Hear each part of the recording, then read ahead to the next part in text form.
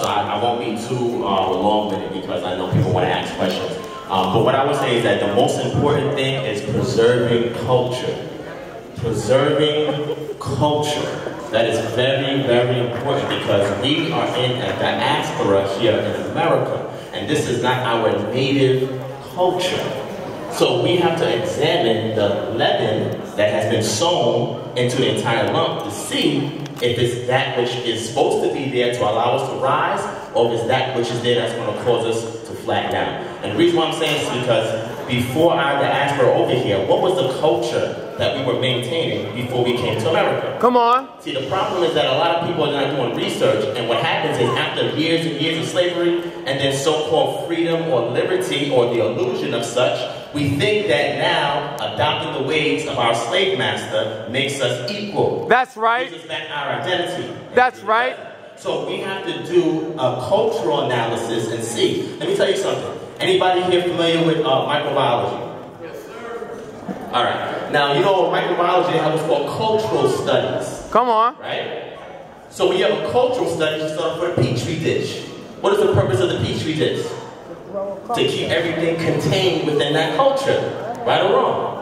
Then not only that, you have the agar fluid there that feeds the microorganism, right? Then you have the medium which you're growing the organism in.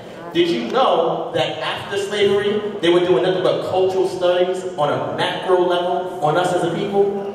Are, are, you understand what I'm saying? That means that if the organism is in its natural environment, it will replicate a particular way. But when we take it out of its natural environment and we put it in a petri dish, now we can control how this organism functions. We can modify this organism. Come on. So what am I saying? We had a culture at one point in time before we came over here, and now once we got brought over here, now they had to find a way to put us in a cultural study so they can control the development of our culture and of our spirituality and as our function here on this planet. The reason why I'm saying this is important is because when you do a study on indigenous cultures, guess what? Over 70% of them are in polygamous relationships. How about that? That's interesting. But the other 30% is normally in Europe and in America. Woo! Is that by chance? No, no. Or is that by design? You see, so we have to be able to look at the leaven that's being sown into the mold. And I'm going to say this, um, and I'm, I'm going to let y'all uh, ask your questions. Uh, since we're dealing with Israel right here, if you go to Deuteronomy chapter 24, very, very important, verse 5 on, and we go to Deuteronomy 21 and 15. I want to read this real quick because I also want to get these points of reference so we can see what the culture was for the people. All right? Read. Now, when we go to Deuteronomy 24 and 5, it says, if a man has recently married, he must not go to war or be given any duty. Woo. If you go to verse 6, see, brothers missed that. It says, for one year, he's supposed to do what? Make his wife happy. Woo. Whoa, let's slow that down a second, brothers. I don't know who's in a polygamous marriage who took one year to make that woman happy before inviting somebody else in. See, have to look at the culture, okay? Now, this, this is very important because if that woman is not happy, he is not doing his job and is not fit for labor. The man don't work, he can't eat. Are, are y'all feeling what I'm saying here? So what I'm saying is that that's number one. Number two, Deuteronomy chapter 24 deals with if a man has two wives. Because we have situations when a man will get married to two women and then hate one and love the other. Most I said, nah, it's not going down like that. So what am I saying? I'm saying these are cultural precepts that was embedded in the culture that we had before we got in our diaspora, and there's order there. But just like any tool that can be used for destruction, you have to be able to tramp the one who you place the tool in the hands of. This is why we need those who are in polygamous marriages, who are elders and have been doing it for years, be the ones to court over those who are considering it. See, it may be feasible or plausible to have a monogamous relationship in the current society and we want to conform to their standards. But when we go back to our original culture, what are we doing to put these guidelines and these safeguards on our culture while we're here in our captivity? We believe we're in a captivity, right? Are we going back to this culture system that is safeguarding and protecting all the interests of the people who created it? So I'm not knocking anybody that has monogamous relationship. If that's what you want to do, that's fine. Nobody should superimpose the polygamous beliefs on you. But at the same time, you have to be able to don the understanding that we are in a cultural study and what kind of organism were we at and how we would thrive in our natural environment before we got put in that petri dish. And I'm going to leave it at that. Woo! All right, let's go to our first question, please. Shalom, everybody. know, I I was listening to some of the ladies' justification, it kind of brought me back to when I was in the world. And ah. One thing I realized, most of our men disrespected our women in some form or another. That's just rampant in our community then, it's still rampant in our community now. So I kind of took advantage of that by not being that dude. So it made it a whole lot easier for me to be elevated in the woman's eyes because they weren't used to seeing certain actions. That's right. But now, being in the truth, there's certain things I was a fornicator. I just didn't lie.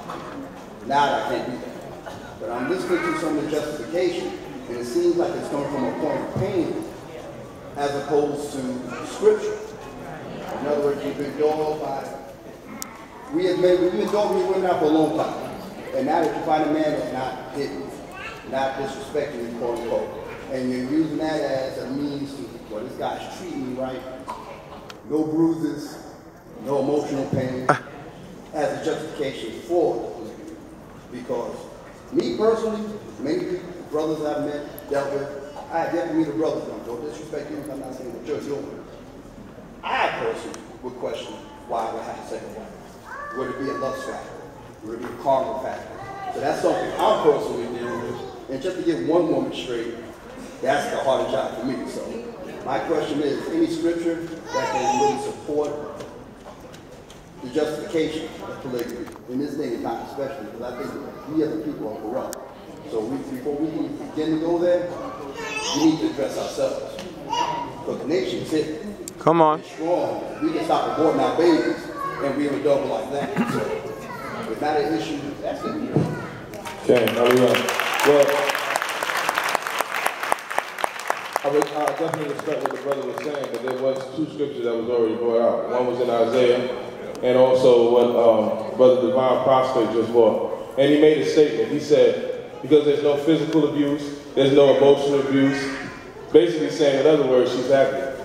So if a woman is content with being happy, what is wrong? Because it's not a monogamous relationship, she should reject it. So these are some of the questions that we have to ask ourselves. Now, if you as a male may feel that, and we, we got a dialogue, if you as a male feel that maybe uh, polygyny is not for you, like the brother said, don't superimpose it on any other people. That's right. Understand, when it comes to intellectual and intellectual mate selection, the woman is usually driven to the more dominant male. That's right. For, for mate survival for her offspring. So if there is a man that is a leader or has intellect and knowledge or is physically developed, she is going to gravitate to him no matter how many women like him because she knows it's dire need for her offspring to produce superior offspring. Man, talk that truth, man. men think how men operate is they deal with a linear thought process in their brain, meaning they can compartmentalize and separate emotional feelings from each woman, where a woman can, she has a, a cyclical um, um, aspect of the brain where everything is incorporated in one aspect in one mind, so she cannot separate. And drop that science, man. person or uh, this person, she can't separate the emotional aspect, not naturally. So what I'm saying to you scientifically, our brothers are built for polygyny. And if you would set up a community that didn't have polygyny, and a community that had polygyny, the community that had polygyny will swallow up the um, Eventually. that doesn't have polygamy because you will have women in your organization that has to go outside the organization in order to find a mate. That's And they will right. In the doorstep of polygynous women. That's right. That's right. Or at the devil's door. My question is, if you reject polygyny, my statement is if we reject polygamy, then we are creating an environment for harlotry in our own society because we're going to have a lot of sisters that's going to be visiting shops to go get some toys to satisfy themselves because they can't find themselves a male. And this is some of the stuff that we have to consider as individuals because now, can you see? This is what I ask. When it's Torah, if it works in the community, then it's Torah. If it doesn't work in the community, monogamy for everybody does not work in the community. Somebody has to leave that community and go elsewhere. And where would they go to? Another community where the brother's lying to them and telling them that it is monogamy and it ain't. It's And it also ain't. polygyny. That's right. Drop that science. Hold on, hold on. I, I, I just want to say something because every everything these everything this brother said is right on. A lot of what these brothers and sisters are saying culturally and what we are experiencing is correct. But this is the point that I wanted to bring out. I never said, and I wanted to put it out there. We know that there's polygamous relationships in the Bible. We know that that was our culture. But what we need to really focus on is what the Most High wants. And I'm going to make this clear real quick when I say this. And I, I don't need claps or anything because, because I'm seeing this, is that if I wasn't up here, this would be, just be a panel on how great polygamy is.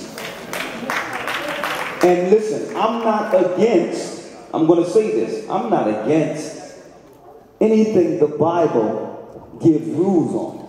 But like some of the scriptures, but it has to be clarity because when we put things out here, you have to realize if there's not enough clarity as elders, as people in, a, in authority, if it ain't clear, somebody going to take stuff and run with it and do the wrong thing.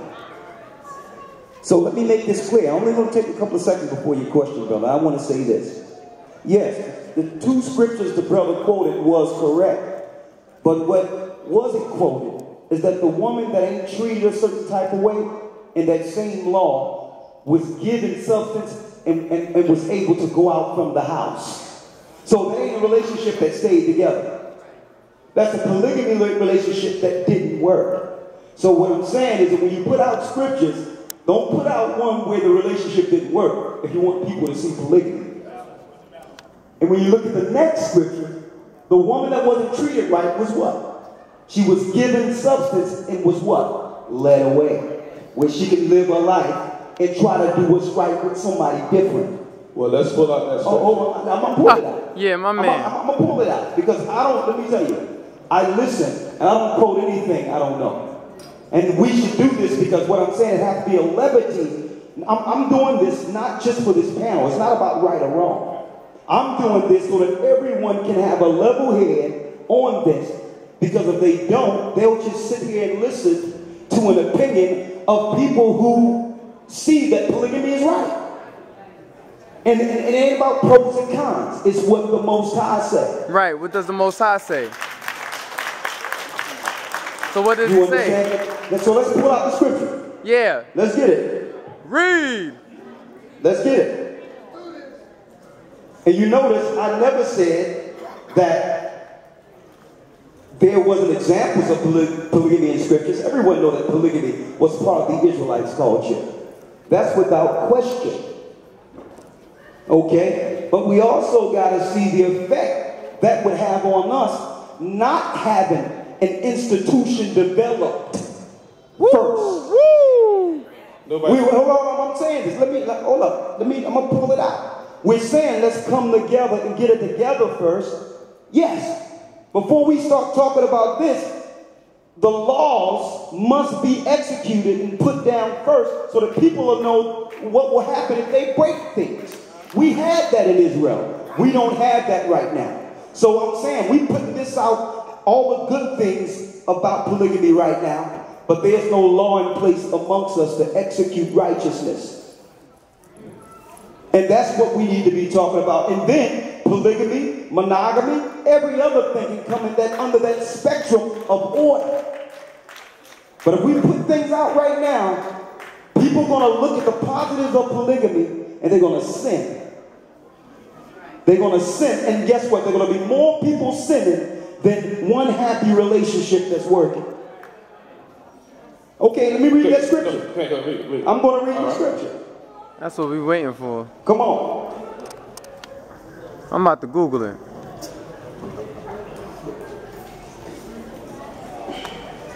Cause he got he got the computer and the Bible. Deuteronomy 21 and 15.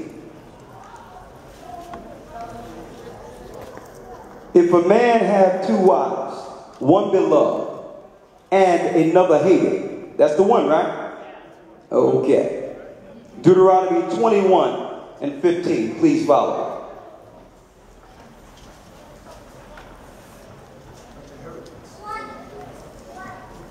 Let me get it.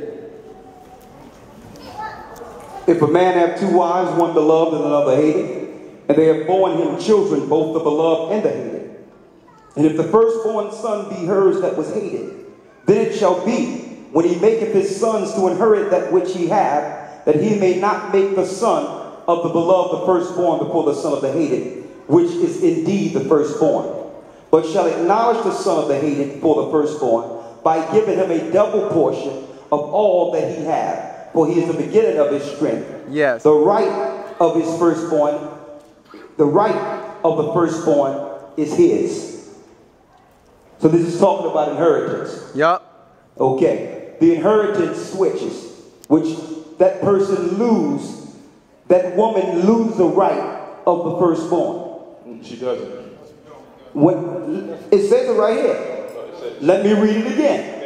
If a man have two wives, one beloved and another hated, and they have borne him children, both the beloved and the hated, and the, the beloved and the hated, excuse me. If the firstborn son be hers that was hated, then it shall be when he maketh his sons to inherit that which he hath, that he may not make the son of the beloved firstborn before the son of the hated, which is indeed the firstborn. So the benefits go to the one that's hated, according to scripture. No, no, that, that's not what you said earlier. You said you said the inheritance switched places. Yeah, I yeah. think I think it was a minor. It just, it Yeah, just- yeah, yeah. Okay, okay. I stand corrected on what I said. But what I'm saying is there's scenarios in scriptures where polygamy in the scenario is not all peaches and cream. That was my point.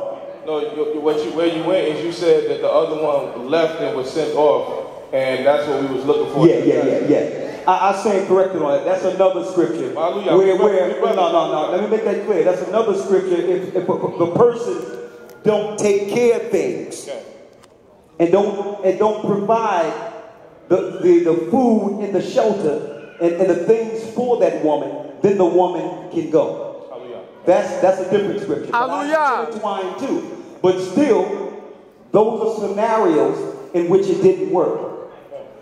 All right, that's that's my point.